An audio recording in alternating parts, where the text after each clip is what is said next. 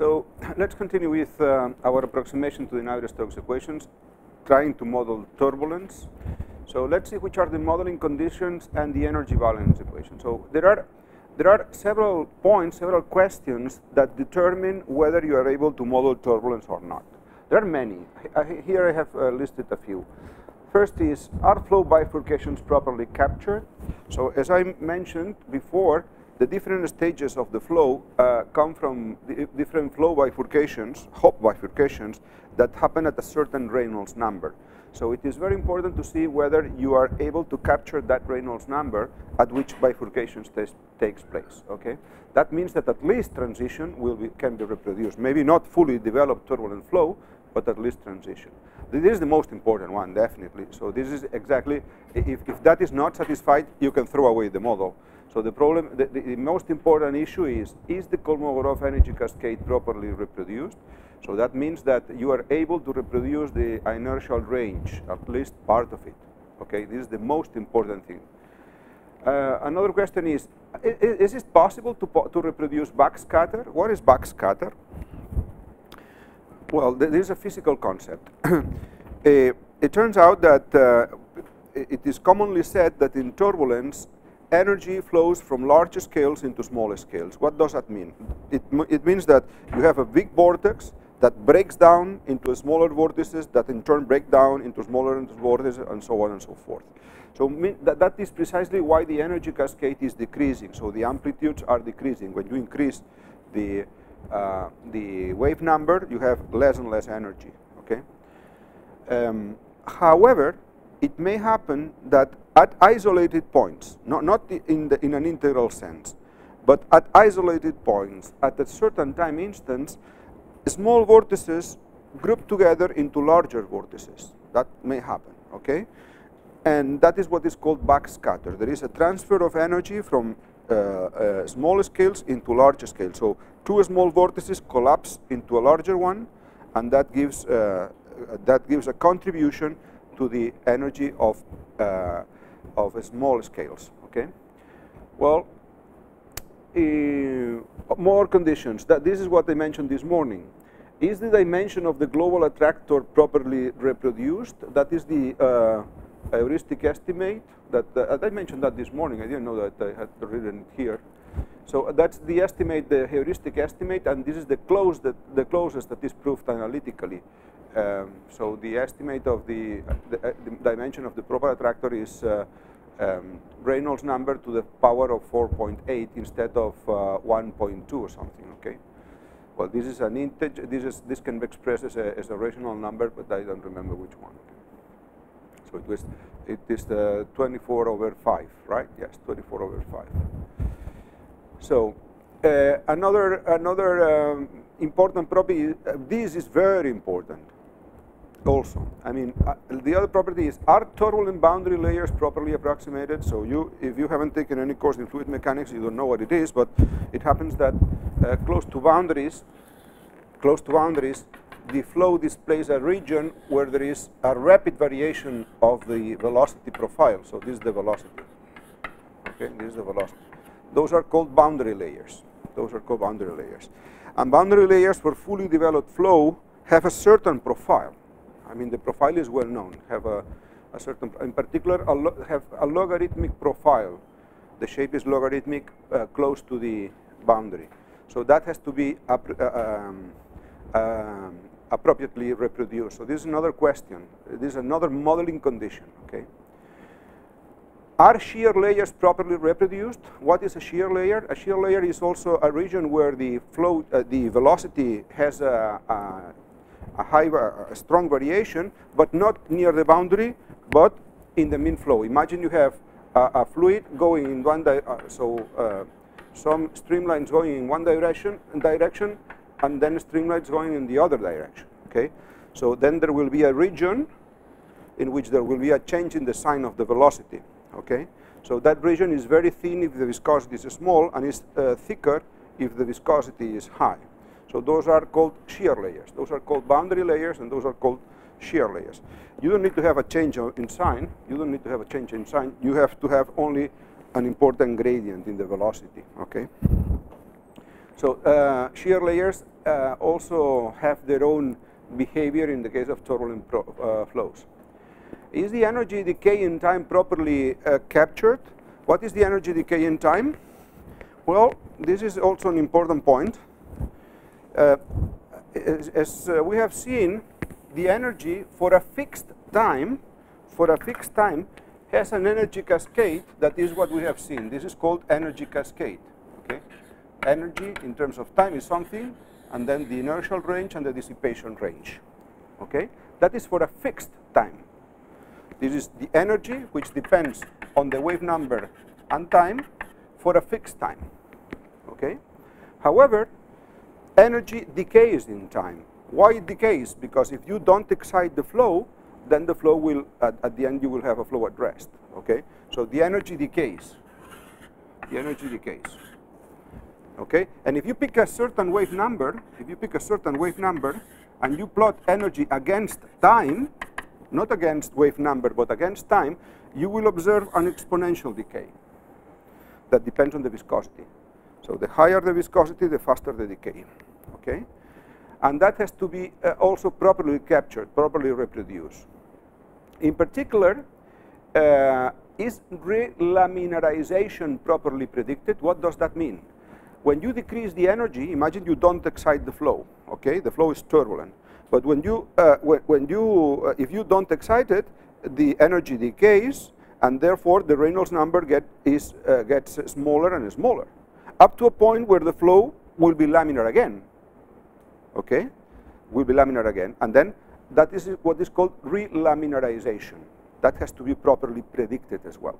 Okay, what does it mean flow laminar again? I haven't said that, but remember the very first slide or the, one of the first slides. This one. You know, when is the flow, called laminar? In, in stages one, two, or three. Okay, in stages one, two, or three, up to here, we say that the flow is laminar. In stage four, we say that the flow is chaotic, the flow is turbulent. Okay, but uh, you see that uh, uh, a laminar flow does not mean a stationary flow. A laminar flow means a flow which only has large structures. It doesn't have a chaotic behavior. It only has large structures. Okay. That's what relaminarization is. Okay, so then we have a theoretical ask, a question. Do uh, solutions converge to suitable solutions? You know, that we have to prove that the solution of our, uh, pro, our uh, model converges to the a suitable solution. Do you remember what a suitable solution is? Is the, the definition introduced by Scheffer? Uh, is a solution that satisfies the entropy inequality. Of course, we will not be able to prove uniqueness. We would win uh, $1 million, okay? But we, we are able to prove, and in fact, in our group, uh, we have proved that, um, that the solutions do converge to suitable solutions, okay, weakly. Um, and, uh, and we have a paper about that, not myself, but uh, my colleagues. So uh, uh, solutions converge to suitable solutions that means that suitable, uh, we converge to a suitable solution. you see, we, uh, uh, we have to be careful with the language. The, uh, our solutions converge to a suitable solution. Hopefully, that would be the unique solution, but, but, we are not able to prove that. Okay. And any other question you pose. So, what is the message of this list uh, list of points? So these uh, three slides: one, two, three, four, five, six, seven, eight, eight points. So the, the, the, message is that there are characteristic features of turbulence that have to be reproduced if you claim to have a turbulence model. Okay, so you have this is a checklist that you have to uh, that you have to answer. So we have answered for most of these questions, but not for all of them. So let's let's do something that is very important in, in turbulence, which is the a global kinetic energy balance, uh, the, the global kinetic energy balance equations. To write down those energies catches that you want to do uniqueness? Um, I mean, in general, you, you can prove, uh, let me pose a question. I, I don't know. The, the, answer is that I don't know exactly. The point is that you can prove existence. How do you do that? By typical Galerkin approximation, taking the limit. It's not easy to take the limit, okay? You have to work in the appropriate topology and so on. This was done in, in, in bounded domains by, by Hopf. And um, but essentially is a essentially is a Galerkin method. Okay. However, once you know that there is a solution, you cannot prove uniqueness. Um, uniqueness usually is done by is proved by taking the difference and then making sure that the norm of the difference goes goes to zero uh, as the typically a regularization parameter goes to zero. In this case, uh, the problem is taking those limits. Those limits you cannot guarantee that exist. The, you know, in, in, in, in, other problems, what do you use? You use uh, the dominate, dominant convergence theorem. You use those those theorems in analysis. I mean, classically, okay. In, in, in, in, fluid mechanics, you also use uh, the so-called topological methods, degree methods. I don't know, well, I don't know you have heard of those, but you also use methods that allow you to guarantee uh, uniqueness in some cases, but not for the full Navier-Stokes equation. So, I mean, um, uh, so the exact answer, I don't know. I know how to, that I have seen many papers proving existence, but um, of course I haven't seen any proving uniqueness, so the problem is that um, that cannot be. Ah, yes, yes, yes. I know, I know, I know one thing. Yes, I know one thing. I know one thing. There is, for example, a paper, by the way, by by by Gibbon, where he shows, for example, that uh, that property that I was mentioning, that if if the solution is in H2 in space or L4 in L4, so L infinity L4, or or L2 uh, H2, then you have uniqueness. And then it, that's very illustrative because you see that there is a limit that if you want to bound, you need to have more regularity. So if you don't, that limit does not necessarily exist. Uh, is that so? I mean, the exact reason I don't know, but you, I know the details that that uh, at least uh, explain why the proof is so difficult. Hmm, it's an open problem. So let's uh, uh, write down the global uh, kinetic energy balance equations. So these we have seen. Suppose that, that, that there are no uh, external forces, okay? Suppose that there are no external forces. So the equation that we want to solve is um, is the is this one du dt plus u gradient of, u, of minus u Laplacian of u plus gradient of p equal to zero. And we have an initial condition, okay? So first we have the uh, uh, uh, balance of kinetic energy, assuming the solution exists and is unique, which is very easy to obtain. We just test this against u and get this expression. First, th that term will lead to the uh, time derivative of the kinetic energy. It is obvious. That term will be zero. We know that. It's the um, the convective term, and that term will also be zero because of the incompressibility of u, okay? Divergence of u is equal to zero.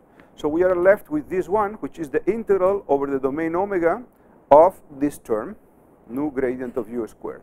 That's the so-called the molecular dissipation, okay?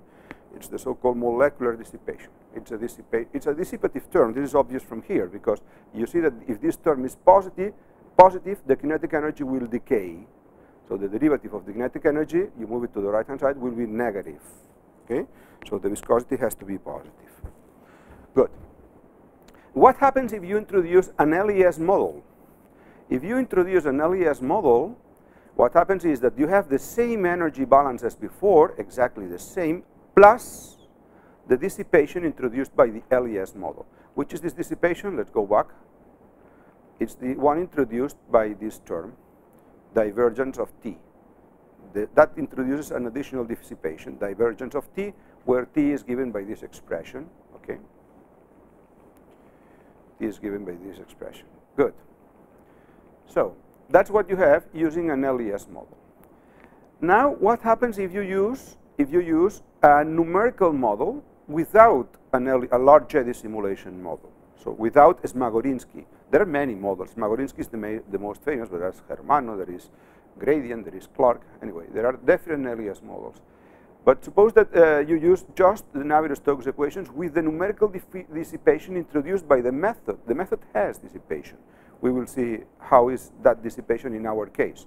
But the method has dissipation. So we would have this, okay? And what would happen if you trust the LES model as a physical model, then you should discretize the equations using finite elements, for example, right?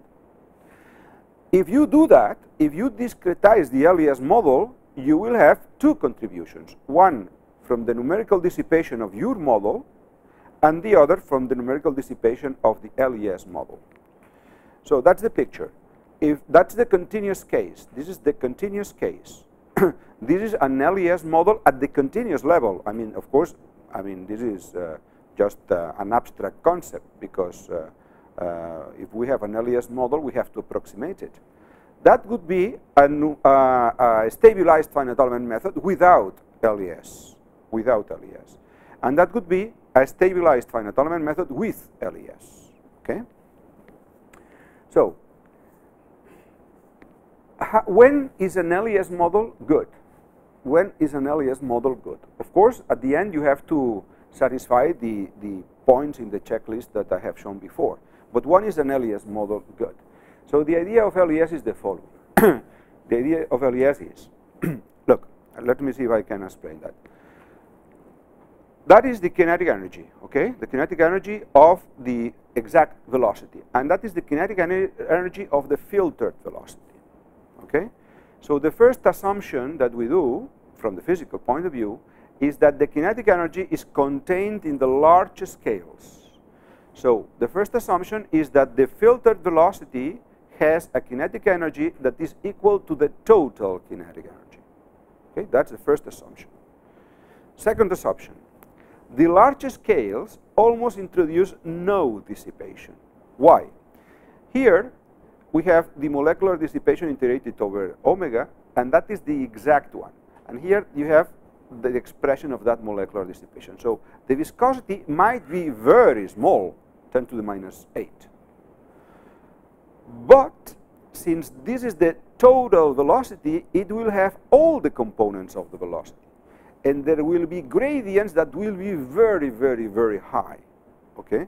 Therefore, even if this is extremely small, there will be components in the velocity with extremely high gradients, the, very, the highly fluctuating velocities, and therefore this number will be finite. This will be of order 1, let's say and then that integral will be the total dissipation of the flow. When we go to the filtered equation, what happens? What happens with the filtered velocity? The filtered velocity only contains the large scales, the, the you know the large uh, variations. And therefore, if we multiply that by a very small number, because we are interested in high Reynolds number flows, this is going to be negligible. Okay? So two points. First, the kinetic energy of the total velocity is essential the kinetic energy of the filtered velocity or the large scale velocity if you want to say. And second point, the dissipation of the larger scales is negligible in the fully developed turbulence. Therefore, Lilly's argument, Lilly's argument was that a good, an LES model has to satisfy that the dissipation introduced by the LES model is equal to the molecular dissipation. That's what LES model, uh, an LES model has to satisfy. And this is the so-called uh, Lilly's argument. So first, the kinetic energy of the total velocity is approximately equal to the kinetic energy of the last of the larger scales.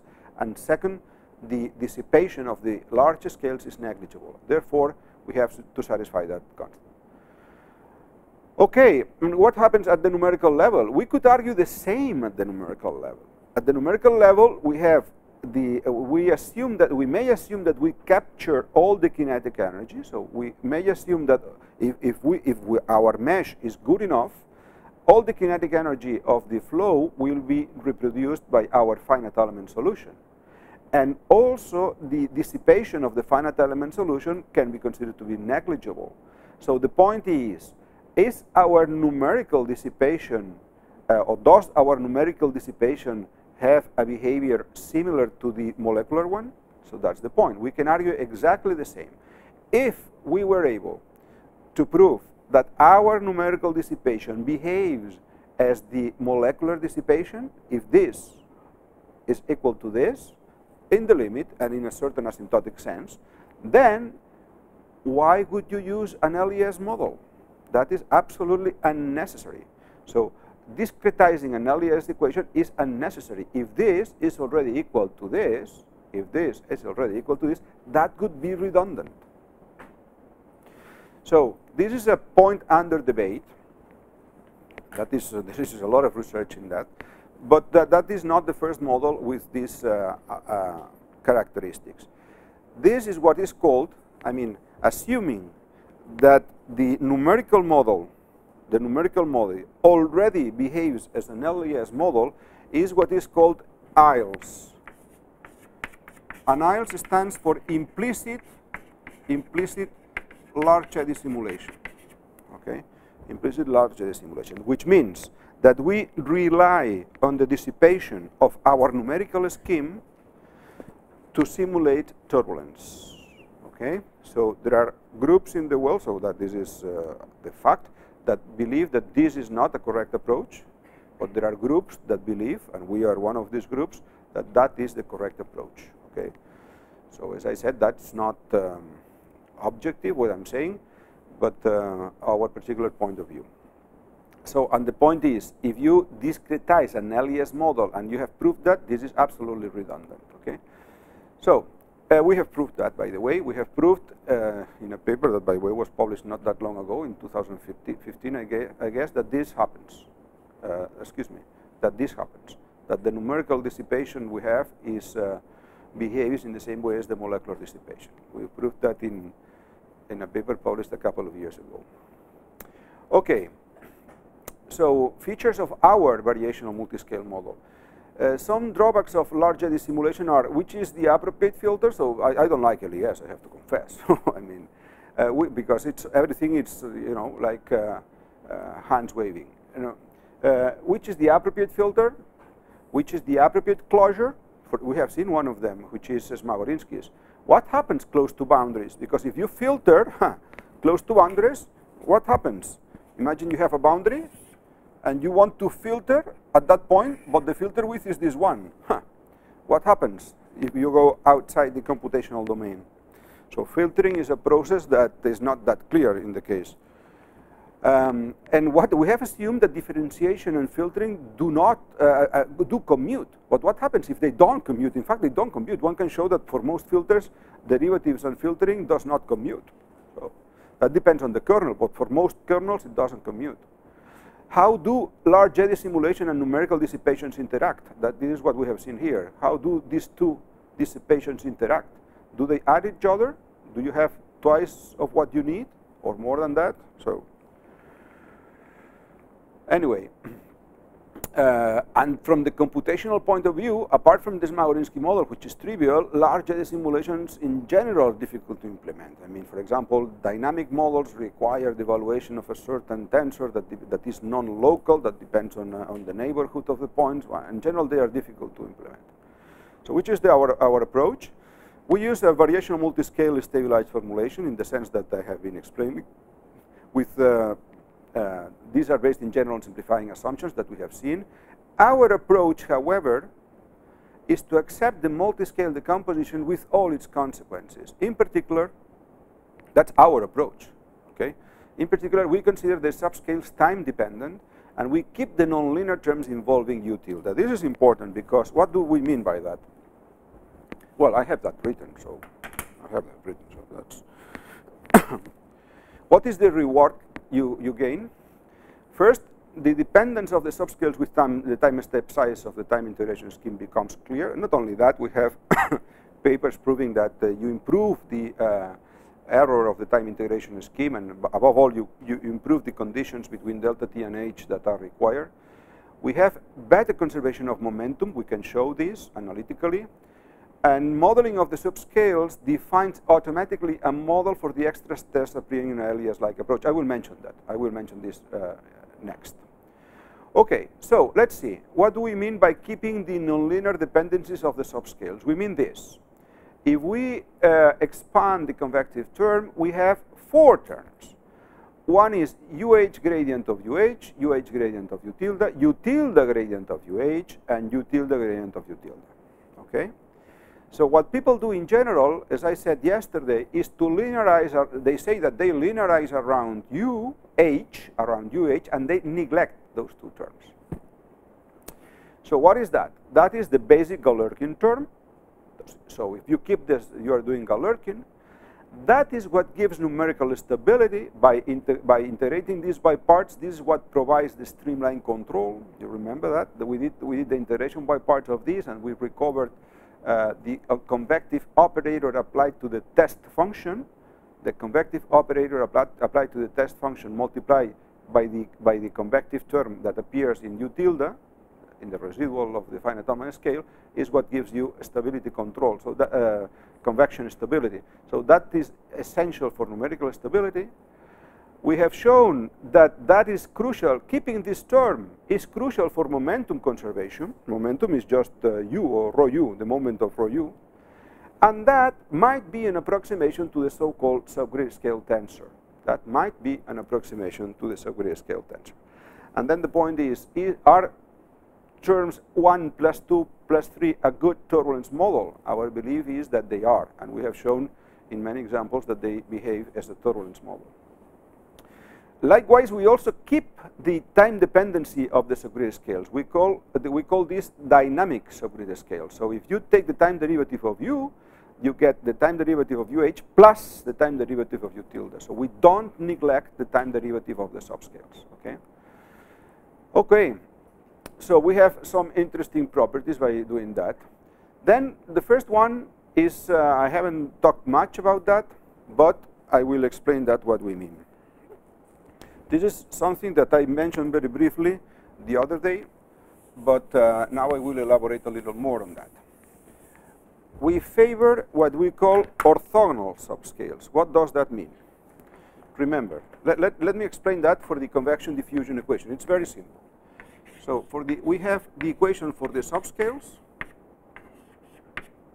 which is this one. Do you remember that?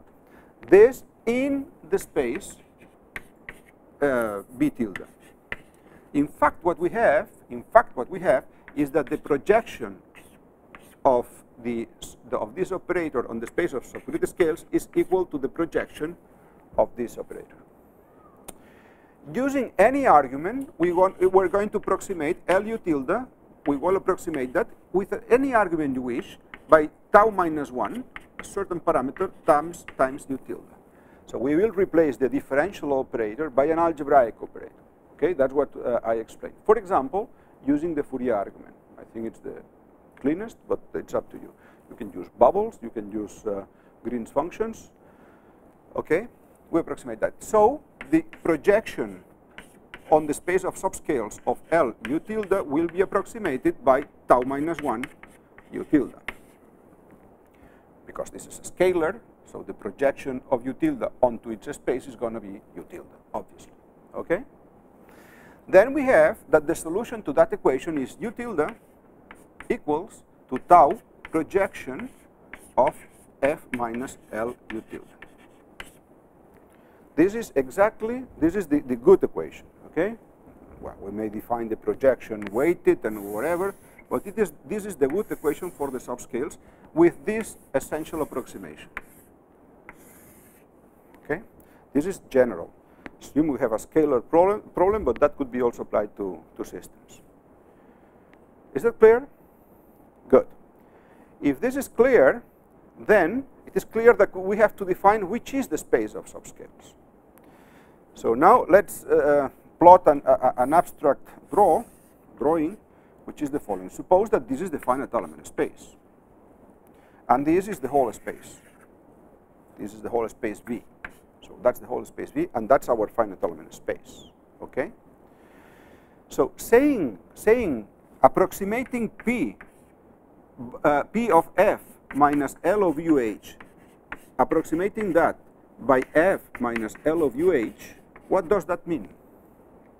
Suppose that f is a constant or any function. What does that mean?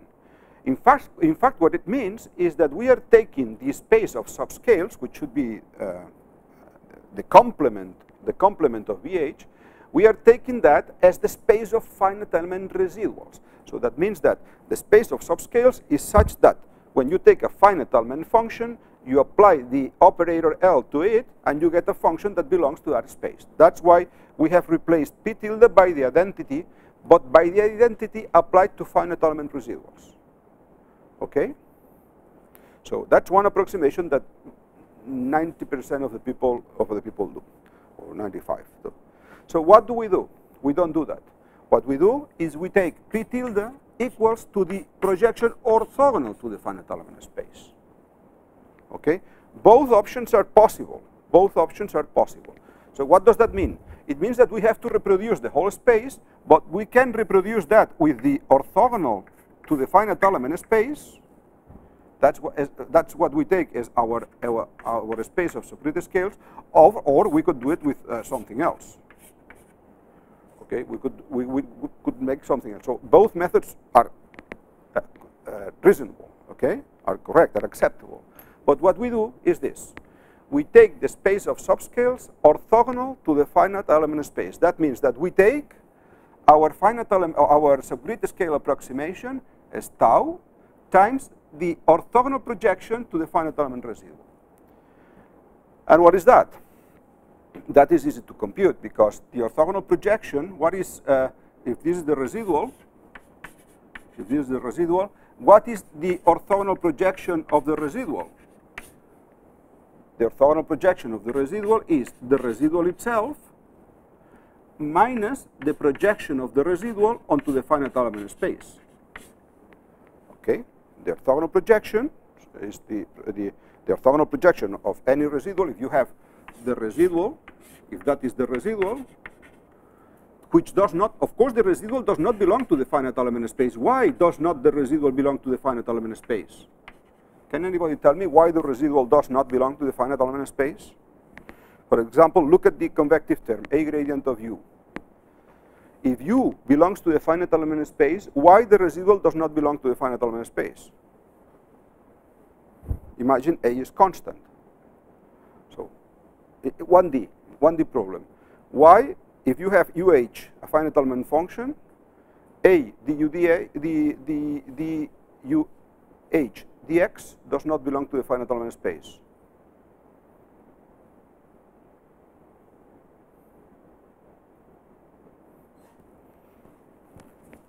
What? Imagine I have a function like that. I have a function like that, which is a finite element function. Okay, UH. Why? How does a d a duh dx look like? Well, it's uh, a dux is a constant here, another constant here, and another constant here. And that function does not belong to the finite element space. It's not continuous. You see? It's a function that lies outside the finite element space. Therefore, um, we have a residual that does not belong to the finite element space, we compute the projection of the residual onto the finite element space, the L2 projection, and the residual minus the L2 projection is the orthogonal component of the residual. Okay, you understand? That's the method we propose. There is a projection involved that you have to do, but there are, we believe, many advantages many advantages. This is the idea. Okay. Then we proved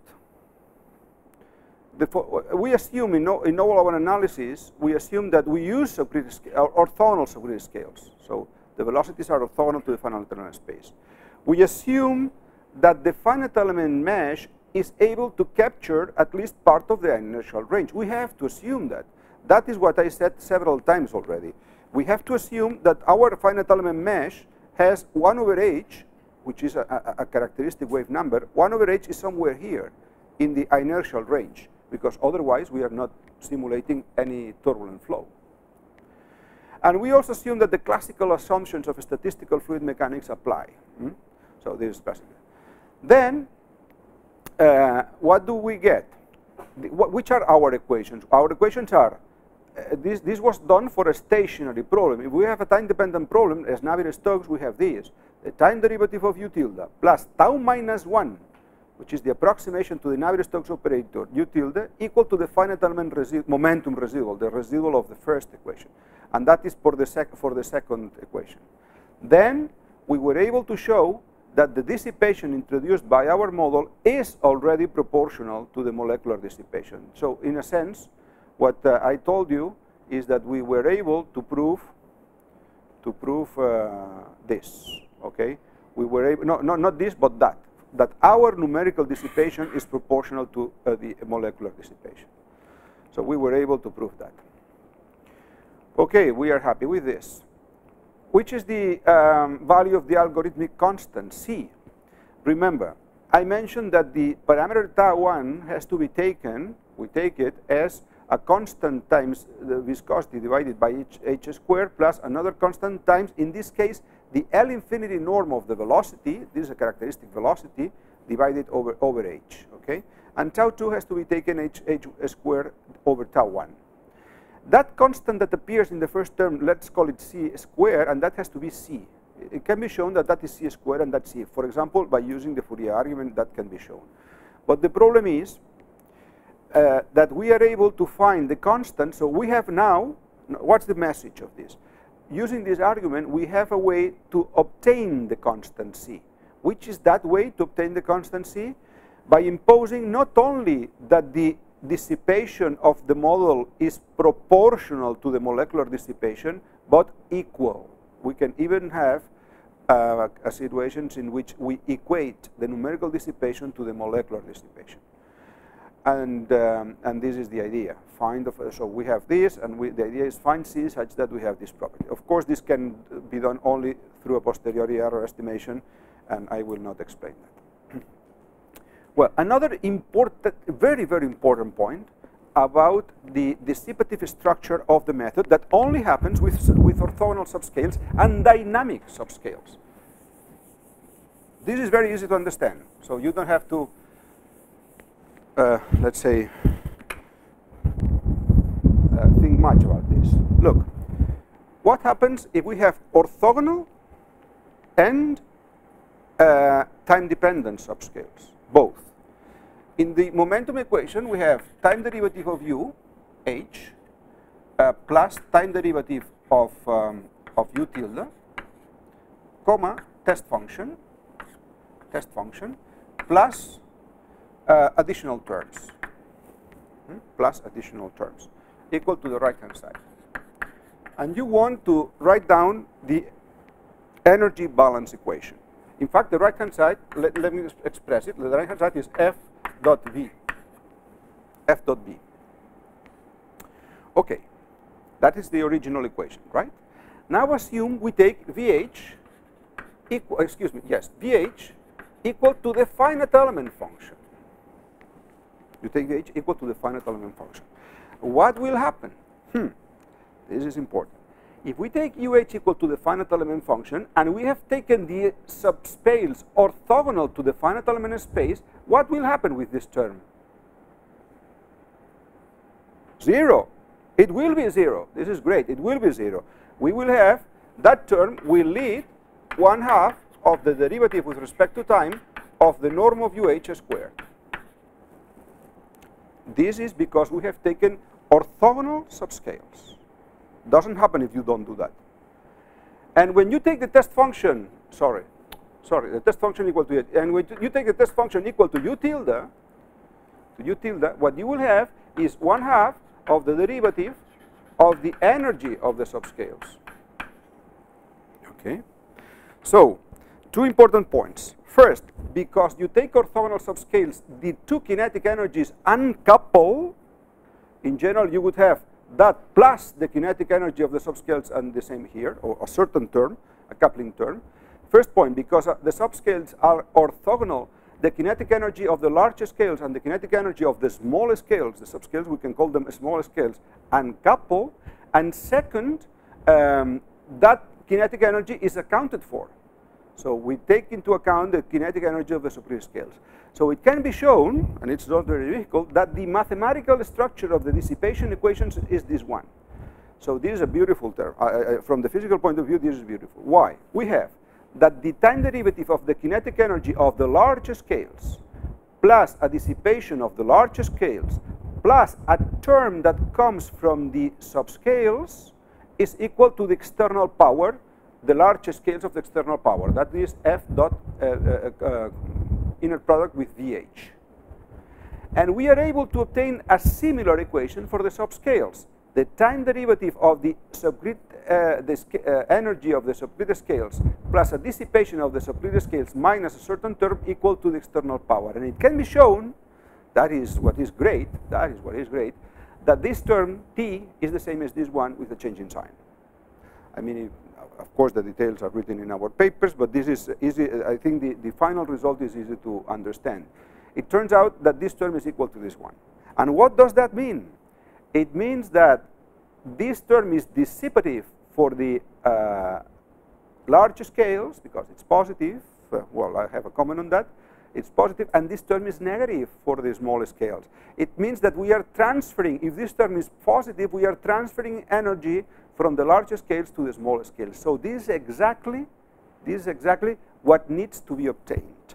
So by taking the subscales orthogonal to the finite element scales and time dependent, we are able to reproduce what is really necessary to reproduce from the physical point of view.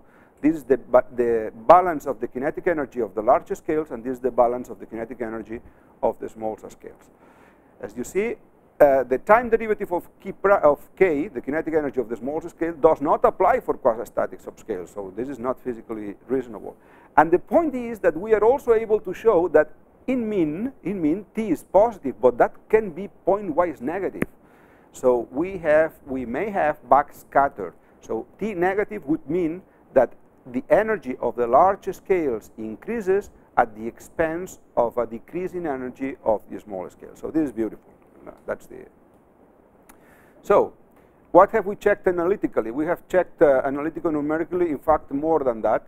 We have checked that the, the numeric, as I mentioned, that the numerical dissipation is proportional to the molecular dissipation. We have proved analytically this. So this is the work we have done in this topic. We have checked that our uh, spectrum behaves as it, it has to be, as it has to behave.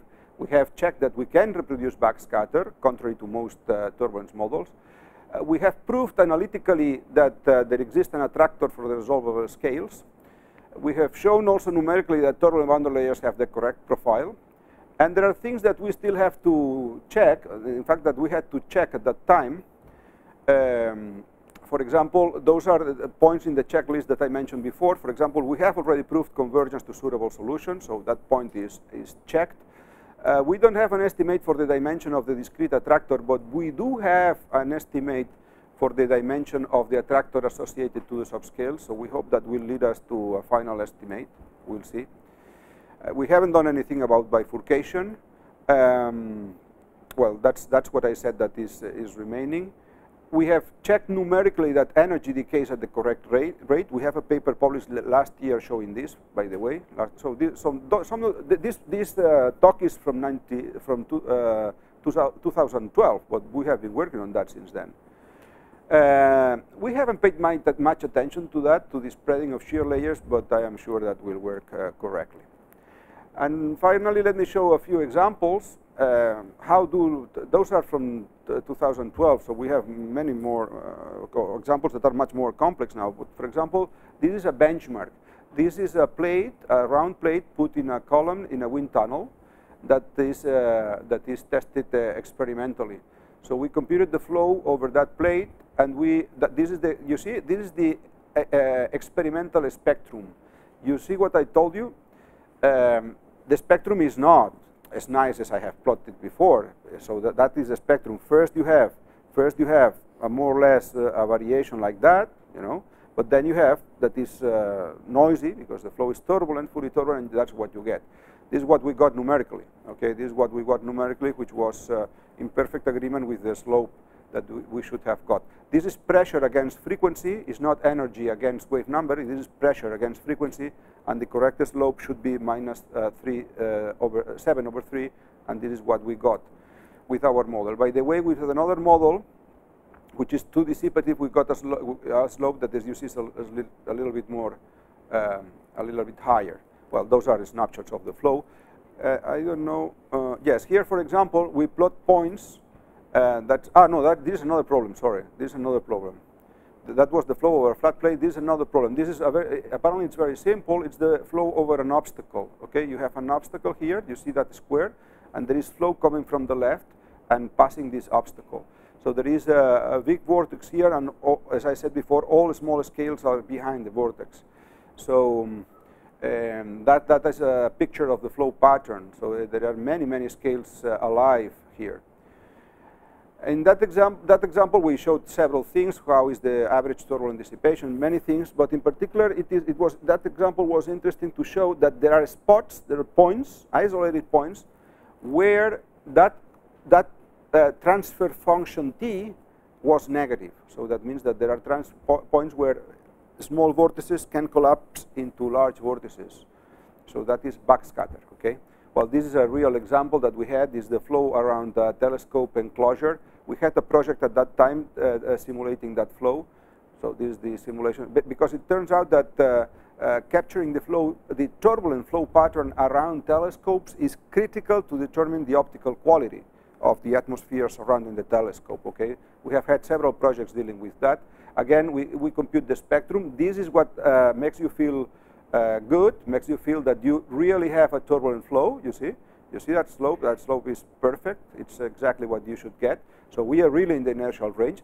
Of course, the inertial range may go up to a certain point that we may not capture. But what we have to make sure is that we are able to capture part of the inertial range. Okay, that is the message. And then, then, then we compare some quantities. That is the mean velocity and that is the so-called turbulent intensity, which is, in, uh, let's say, the deviation, the standard deviation from the mean velocity. And then we compare results of our model against other models, and of course the conclusion is that ours is the best. Otherwise, we wouldn't put the, the results here. And that's it.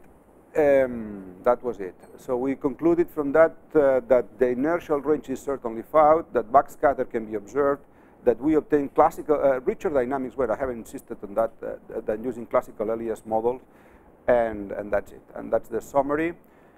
Well, that's, um, we have, uh, that was a talk that, as I said before, and, and that is not a talk but a session, so I think I will stop here that topic. Okay? So that's, um, that's for in what concerns a, a brief introduction to what we have done in variational multiscale, in variational multiscale applied to applied to um, what happens? It doesn't close. You know, applied to incompressible Navier-Stokes. Okay, good. So let's move to Darcy. Second topic, second application topic. This is a more recent talk that I gave in in a, in a conference uh, not that long ago, less than a year ago okay? Less than a year. I will touch not all the points. There is one that I will not touch because I think it's not uh, interesting, interesting for this audience. Um, I will not touch point number seven, okay, but I will touch all the other points. I will try to touch. So uh, I'll talk about Darcy's problem, and I want to insist on the on the distinction between the primal and the dual forms. Then we will move to Brinkman's problem, which is just Darcy with some viscosity, and develop a general framework that is able to encompass both limit cases, Darcy and Stokes. Then we will see how to design stabilized finite element methods for that, and see which are the optimal error estimates that we have been able to get. Okay, and finally some numerical tests. So as I said, I will skip the point about the weak imposition of essential boundary conditions. So this is essentially a talk about Darcy's problem and also Darcy combined with Stokes, and using our, our um, stabilized finite element approximation that is based on the variational multiscale concept. Okay, so the first point I think is important because it's it's uh, it's general. Okay, which are the objectives of this talk? That was an, an hour talk in a, in a conference, so that I will try to keep it to an hour or less. So half an hour today and half an hour tomorrow morning. So uh, which are the objectives? The objectives are first to stress the importance of the primal and the dual forms of the Darcy's problem. So this is important to understand. Okay. Then to develop a functional framework for the Stokes-Darcy problem, which is also known as Brinkman's problem. Okay, that is called Brinkman's problem as well, which is well behaved when the viscosity tends to zero. So that would be that would be the uh, uh, Stokes-Darcy uh, limit, And when sigma tends to zero, sigma is the inverse, uh, uh, the, the, the, inverse of the permeability. So the permeability is uh, uh is uh, infinity. Okay, so sigma goes to zero. Uh, we will propose methods that are optimally stable and optimally convergent for any interpolation without satisfying the inf-sup stability condition. So that's our goal. Okay, that's why um, stabilized finite element methods are designed for. Okay, so this is why we will uh, try to present that. Uh, and that topic I will not touch it. So the method to prescribe boundary conditions, I will not touch this point. Which are the key ingredients? The first is a variational multi-scale method. So a two-scale, in fact, it's multi-scale. I said that two-scale is a little bit uh, too much uh, hypo. It's uh, always two-scale. A two-scale decomposition of the velocity and the pressure within the variational multi-scale framework. It is very important to have a proper scaling of the problem. Remember, units matter and matter a lot in numerical analysis, okay? Not in analysis, but in numerical analysis. And then uh, uh, we will show, or will show a closed form expression for the subscales based on an approximate Fourier analysis. I will not elaborate it here, but uh, again, let me mention that that Fourier analysis that I mentioned the other day is useful for all, at least for all the problems that we have considered so far. I don't know that it will work always, but at least so far, so good. So it has, it, it has been useful in all the problems that we have uh, treated, that we have dealt with. And that topic I will not touch it. Okay. Um, we will propose two stabilized finite element methods. In particular, we will propose one in which uh, the space of subscales is essentially the space of residuals, so that, uh, that this one uh, where was it? The, the, space of residuals, so, okay, where, where, and the other in which the space of subscales is orthogonal to the space of residuals. Okay, so in one case we take p tilde equal, equal to the identity. So in one, in one case we take that, and in the other case we take it orthogonal to the finite element space.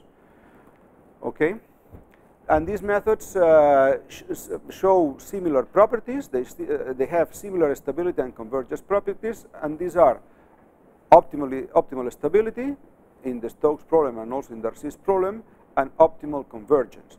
But the optimality in this case, as we will see, is determined by the length scale. So this is again very important. Okay, so let's go to the first point, which is uh, very, like I would say, general. So it's something that uh, I think there is sometimes misunderstanding, which is Darcy's problem. By the way, misunderstanding by people um, I mean, that simply pay, have paid no attention to that, but should know that.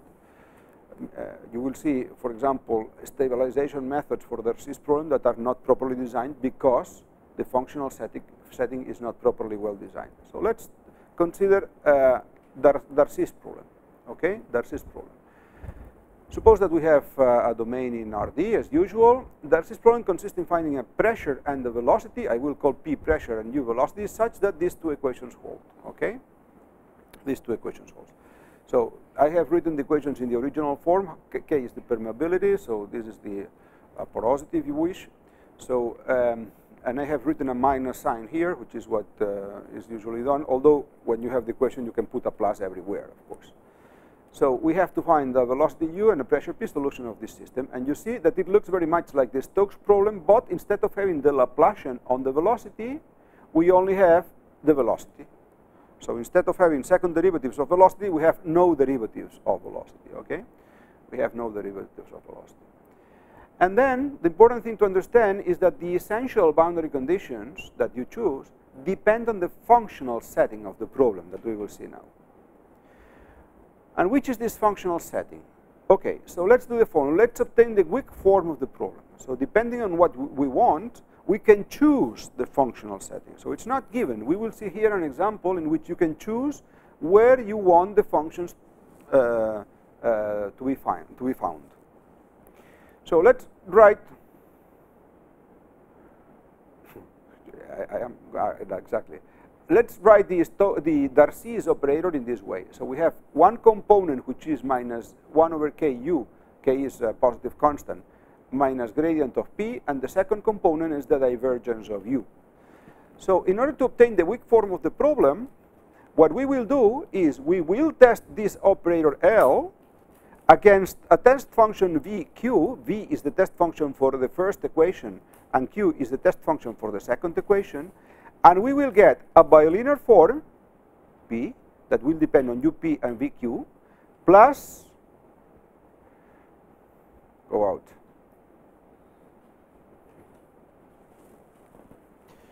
plus a bound, plus a boundary term. A boundary term that will have, this is very important to understand, that will have certain terms that I will call fluxes of, of the unknown, up, and a certain operator applied on the, on the test function that I will call Dirichlet operator. Okay? So I will get an expression of this form after integration by parts. Okay? The point is that we have two possibilities. We have two possibilities. In the first case, we don't integrate the first equation, but integrate by parts the second. You see?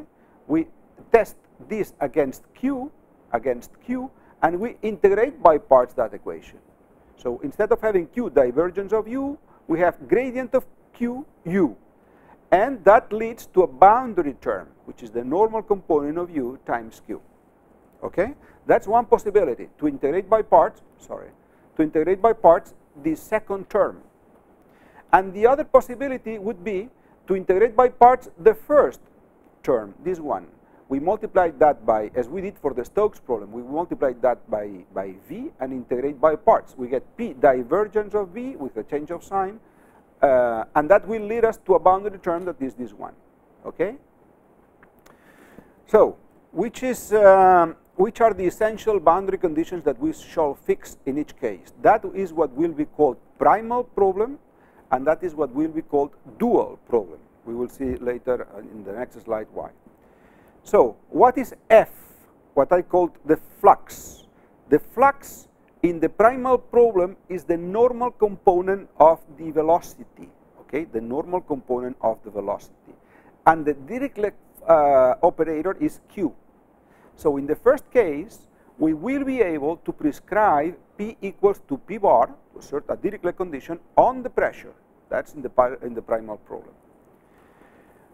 Whereas for the dual problem, the flux is P. You see, the flux is the pressure itself. Okay? And what we will be able to prescribe is the normal component of the velocity. So the normal component of the velocity will be prescribed in the case of the dual form D. Okay? So we have two options that depend on whether we integrate by parts one term or we integrate by parts the other term. So either we integrate by parts this term or we integrate by parts that one. We get the primal or the dual form. So let's see which is the functional setting of the problem. Which is the space for Q in the primal form and in the dual form? Let's look. In the primal form, it's clear. We need U excuse me, P, we need P to be H1 because we have gradients of P and the test function. And we only need the velocity to be in L2. Okay? So in the primal problem, the uh, pressure needs to be in H1 and the velocity needs to be in L2. And this is the bilinear form of the uh, primal form. Those are the fluxes and this is, uh, well, this is the fluxes. Fn, what I wrote here, Fn is the normal component of the flux. So that's why the flux is, uh, the flux is uh, U, and the normal component is Un. The Dirichlet operator, what we prescribe is, is the pressure. That is what we prescribe.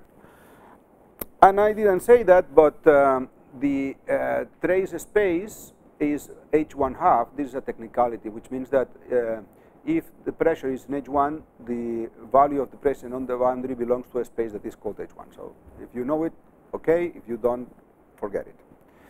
It turns out also that uh, Darcy's problem can be understood as the minimization, so, so that problem can be understood as the minimization of a certain functional. It turns out that the functional, the optimal point, the, in fact the saddle point of which is the solution to the Darcy's problem is this one, okay? That's the functional whose optimal point, whose saddle point is the solution of the Darcy's problem. What happens with the dual form? If we go to the dual form, let's look here. Here we only have pressures. So pressure needs to belong only to L2. However, for the divergence we have that excuse me for the velocity we have the velocity alone and the divergence of the velocity. So the, the velocity and the divergence must be in L2. That's a space that is called H div. I don't know if you know that space. It's H div, the space of functions such that the function and the divergence belongs to L2.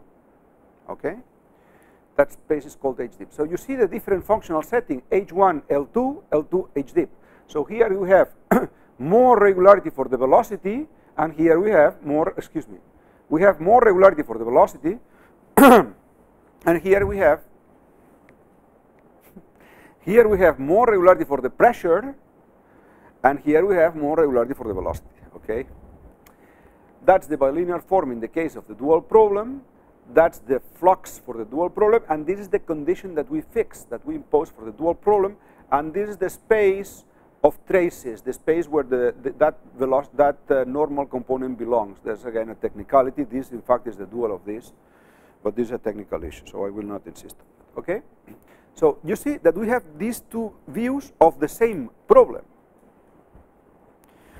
but can anybody tell me why the primal form is almost no interesting or has almost no interest?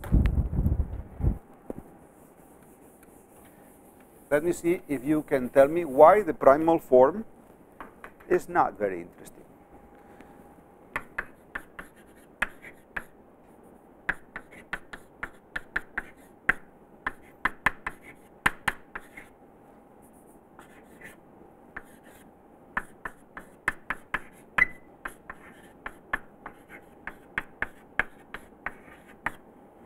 Why this, this is not interesting? It's a delicate question, but if you know it, you understand everything. It doesn't mean that if you don't un- uh, uh, know the answer, you don't understand. Okay. Why is this problem not interesting?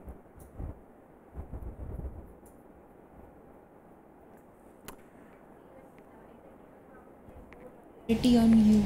More regularity in U and less in P. Yes. Yes. Yes. But that problem is also very, very, very, very interesting, but not written in this way. In Babus का condition It's simpler. The answer is simpler, but maybe more difficult to find. It's difficult to find, but very simple. The answer. Imagine, I don't know if you are, uh, let's say, trained to think in physical terms, but imagine this is a heat problem. There is a very good clue. Imagine P is temperature. Imagine P is temperature. What would be U? If P is temperature, what would be the meaning of U? The physical meaning of U? rate of change. The gradient of temperature is what? Or how is the gradient of temperature called? Is what? Yes, yes, and say, I think you said that correctly. What did you say? No? What is the meaning of the gradient of temperature by a certain scalar? By K. The gradient of the temperature multiplied by K is equal to what? Suppose that f is equal to 0. What? What is the gradient of K, of temperature multiplied by K? What is the gradient of the temperature multiplied by K? That is what? Heat flux. Heat flux. Engineer said that. You're engineer, right? uh, heat flux. It's the heat flux. So it says that, imagine this is a, a heat problem. It has that uh, U minus heat flux minus gradient of temperature equal to zero, for example, and divergence of the heat flux equal to G, the source. But then what, do you, what would you do if you had a heat problem? What would you do? Would you write it this way?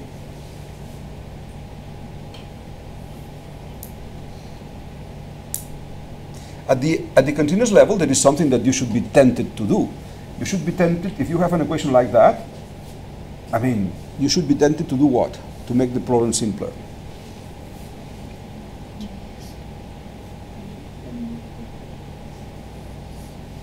You have here two equations with two unknowns. Couldn't you reduce the problem? How? How could you reduce the problem?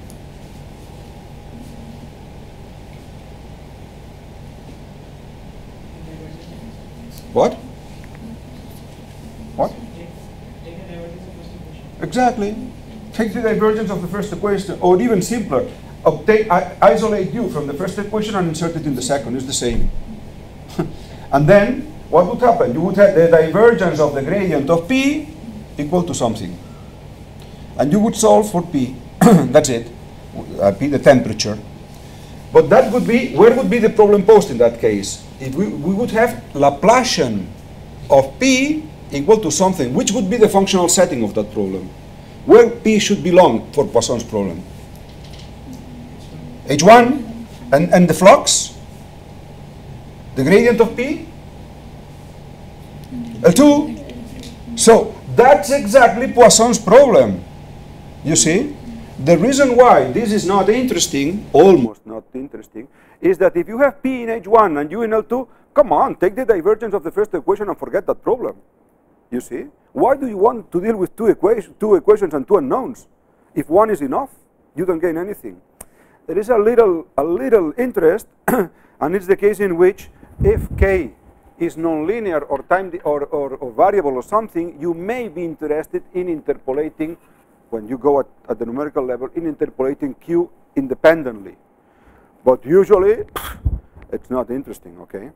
So the primal form, I mean, it's interesting for comparison, but not at the practical level, okay? What is interesting at the primal level is the dual form. Why? In the dual form, you have U and you have P. And as somebody said before, in the, in the dual form, we have more regularity for U than for P. That essentially means that we want more smoother velocities than pressures. So we want to have our variable of interest is not the pressure, but the velocity. And that happens, for example, in porous media flow. In porous media flow, this is exactly the situation. We are more interested in the velocities, in the, in the, in the flow velocities, than in the pressures. That's why it is convenient to write the flow equations. This is the so-called Darcy's model. Darcy's model arose in, in, in, in, porous media flow. In porous media flow, it is more, more interesting to, uh, sometimes, to obtain a good approximation for the velocities than for the pressure. That's why the dual form is of interest. The primal form is just Poisson's problem. Okay? You see that the functional setting matters, determines everything. The functional setting of the problem determines everything. The same equations, if you look at that from the classical point of view, if you have classical eyes, you don't see the difference. You see, if you have classical eyes, you have a, I mean, that is trivial. And in most books in engineering, they don't see the difference between the primal and the dual form, of course. I mean, you just replace that here and you are done. Why do you want to deal with pressure and velocity if dealing with velocity is enough, uh, with pressure is enough? But I mean, people that work carefully on, on, on porous media flow know the difference of both methods. Okay. Okay, that's, that's his problem, primal and dual form. Let's go to Brinkman's problem uh, and, and design a general framework that encompasses both limits. So this is our work, what I will present here, but I think it's easy to understand. What is Brinkman's problem? So let's call uh, 1 over k, let's call it sigma. And I have changed the signs here because these, these are the signs that are used in, uh, uh in fluid mechanics for the Navier-Stokes equations, okay? So Brinkman's problem is a problem that combines the Laplacian and the zero order term. So we have both, okay? So it's like a, a flow with porosity.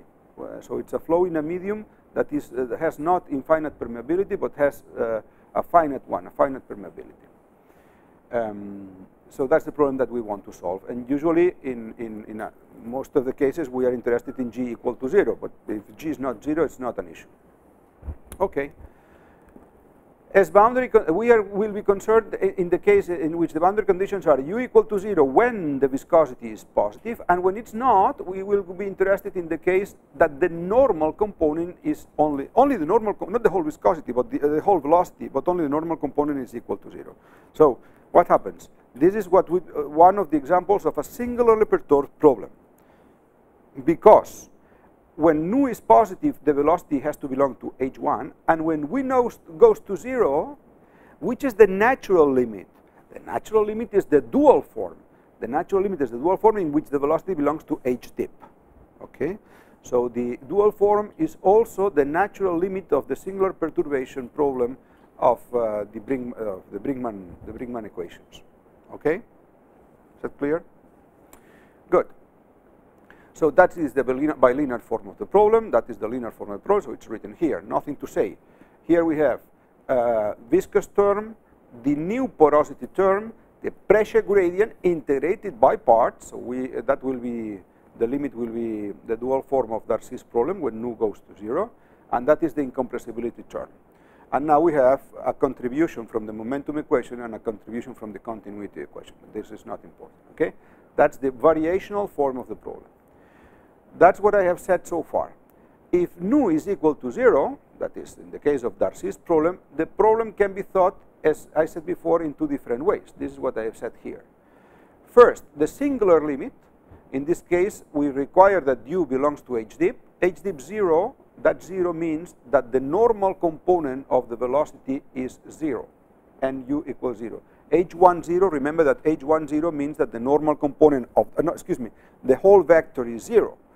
Uh, and in h div, in h div 0 means that only the normal component is 0. Pressures are in L2, modulo constants, because the, uh, they are not defined. The, uh, the forcing term has to belong to this space, and the forcing term of the continuity equation to this one. And then the second possibility is a mixed formulation of Poisson's problem. Okay, you know, that's what I said before. In this case, the functional setting is this one. Okay, and um, okay. So let's design a, a, a, problem that a functional framework that encompasses both cases. This is a little, the idea is simple, but uh, that was useful to us to design our methods. so let's see, this is a little bit of analysis, not much. A little bit of analysis, but not much. Let's define this operator, LU, which is the Stokes plus the, the zero order term. Okay? Let's define this operator. And the associated graph norm. What is the graph norm of an operator? It's nothing but what you get in, in, in, the case of positive definite operators is what you get when you test the operator against u itself. So u, lu, and, and integrate, that's the graph norm. In our case, the graph norm is clearly this one. So it has nu gradient of u squared plus sigma u squared. When we test against u and integrate by parts, this is the graph norm. Okay?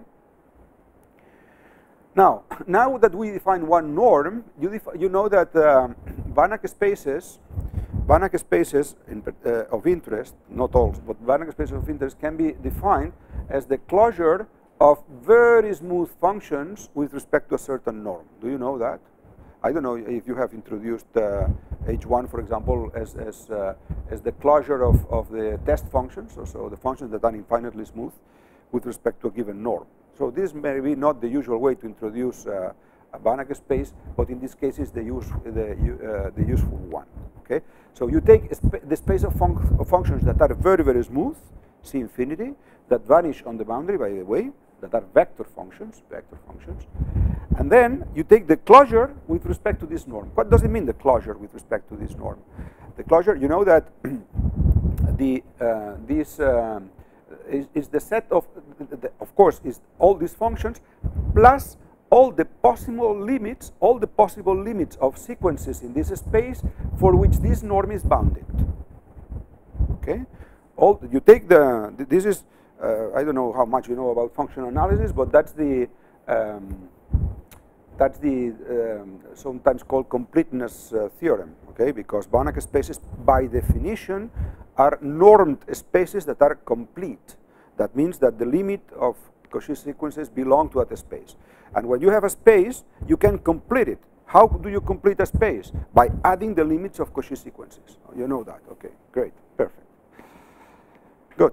So you can define that space as the closure of this one. And then you can define the dual. Once you have defined that space, you can define the dual. And the dual is precisely in partial differential equations, we always base the duality, we always base on the integral, as I said before. So the duality is always based on the integral. So the bilinear form that allows you to define duality is the integral, always. So we define duality in this way. We define the duality, the, du uh, the norm of the dual space as the supremum of the integral of u times v divided by the norm, the L norm of uh, v, normalized by the norm. Okay, so that is the dual norm. And it turns out that when the viscosity is positive, when this, this term is positive, what happens? When this term is positive, which is the space we are working with? Obviously, the space where this norm is equivalent to the H1 norm, when this one is positive, we are working with the H1 norm. And we have that v, VL is H1 and the dual is H minus 1. And when nu is equal to 0, we are working essentially with L2. That is L2, and the dual of L2 is L2 itself. L2 is a reflexive space. It's well, no, the dual is equal, equal to itself. Okay, so we are able to deal with the two limit cases. Okay. Well, it turns out that it is crucial. It is crucial to define a length scale. We will see that uh, tomorrow. It is crucial to define the length scale. Let's introduce a, length scale L to the problem. And you could say, um, well, that length scale has to be chosen. I would say yes, but you could chosen intrinsically to the problem. That could be, for example, the length, the length scale that appears in, in uh, Poincare-Friedrichs inequality. So all problems have a length scale, even if, though it's not explicitly displayed, it, it is there. If you have a, a Poincare-Friedrichs inequality, that you can define the constant that appears there, you can define it as the length scale. Um, the reason is that, uh, what is the problem? The problem is that if we want to take the limit when nu tends to zero, we want to control not only, not only the L2 norm of u, but also the divergence of u. That's why we will have to introduce a length scale. So, now we define another space, which is the closure of the C infinity functions with compact support, with respect to that norm, which is the norm of L, that is what we have seen before, that contains both the L2 norm of the gradient multiplied by viscosity and the L2 norm of the function multiplied by the porosity, plus some control on the divergence. And to make it um, dimensionally consistent, you have to multiply to, to be able to add that. You know, if we were doing only mathematics, we wouldn't care. We could add to, the, to that norm, we could add this one, but we are not doing only mathematics. We are doing numerical analysis, and we want to show and we want to see that things behave well, well in the limit of the parameters when they go to zero or when they go to infinity. Okay. So, in order to be able to add the divergence to this norm, we have to multiply by this scaling coefficient. that has the right units. That has the right units. How do you see that it has the right units? You see the norm of L, the norm L, if you take the square, contains the square root of sigma and the norm of u. Sorry. So that if you want to add the norm of the divergence and you want to be to scale correctly, the divergence introduces a unit that is 1 over length. Therefore, you have to multiply by a length. You have to add, in, in, in numerical analysis, it is very important to add apples and apples and pears and pears. You know, that's uh, very important. You cannot add one thing and the other because uh, when you change units, you may get wrong results. One thing is analysis, mathematical analysis in a classical sense, and the other thing is numerical analysis. Okay. so we define this space V that is the closure of uh, of the test functions in this norm, and then Q is the closure of the C infinity functions with respect to this one. And why do we want to define this norm? Because we always want to control the pressure but in the case in which uh, it might be interesting as well to control the gradient of the pressure, okay? The gradient of the pressure in some cases hmm? that we will see in the numerical analysis. Okay, great. And the scaling coefficient now, again, has to be this one. That is the scaling coefficient that you need. When the viscosity is zero, is zero something remains here. When the viscosity is zero, so, something remains. What, what happens? Um, uh, that is what is said here. The pair V times Q reduces to H1 times L2 in the case of uh, in the case of uh, uh non-zero viscosity, and be careful to H div H1 when the viscosity is zero H1 because that would be the L2 norm of gradient of Q. Of course, the, the, pressure will not belong to that one. I am defining that norm that will uh, be useful in the analysis when we want to prove convergence with uh, for smooth pressures. We will see why. We will see why. And finally, oof, at the end, we define the this norm, this triple norm, which is that norm which was defined here for the velocity and that norm for the pressure.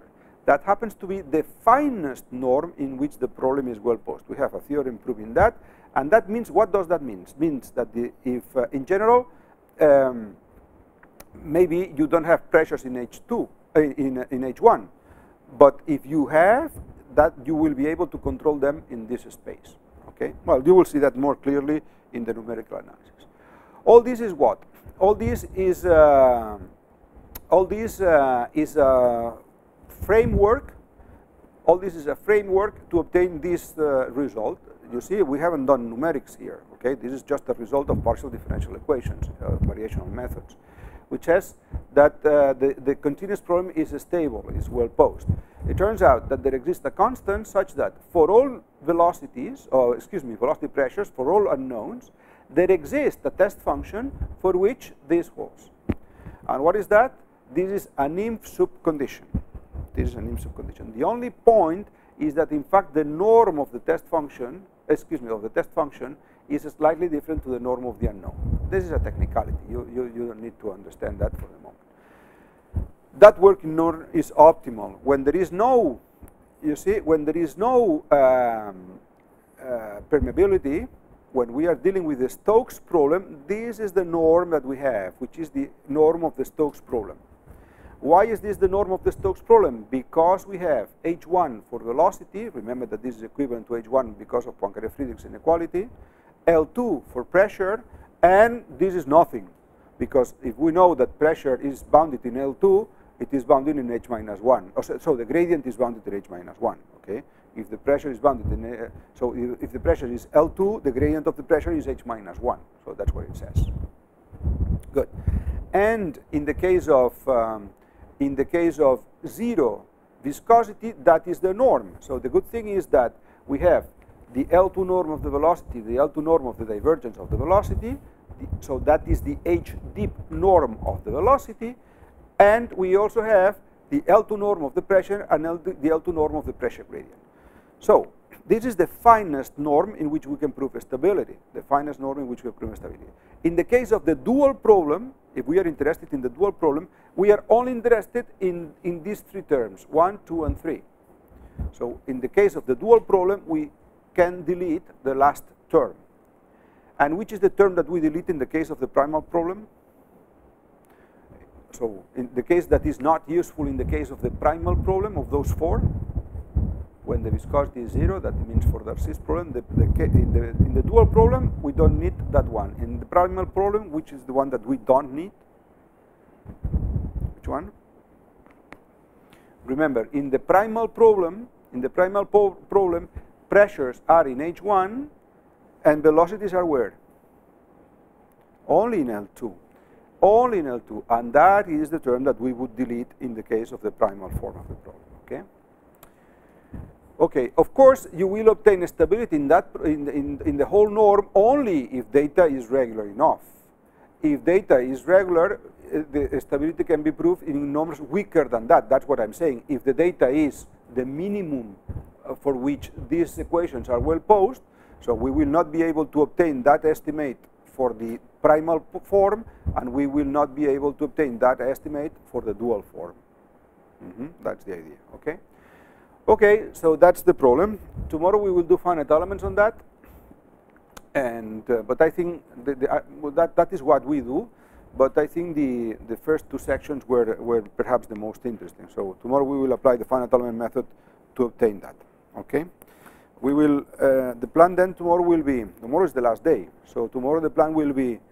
Um, I'll try to condense a little bit those uh, three parts, th those four talks. So we have finished uh, variational multiscale for large eddy simulation. This is Darcy. Then I will I will dedicate maybe 40 minutes to that, and the remaining 50 minutes to to to MHD. Try to shorten that. And tomorrow afternoon uh, we may dedicate, let's say, half the session to waves, or no, half the session to the questions and the other half to waves if, if that's correct, okay? Good, so see you tomorrow then.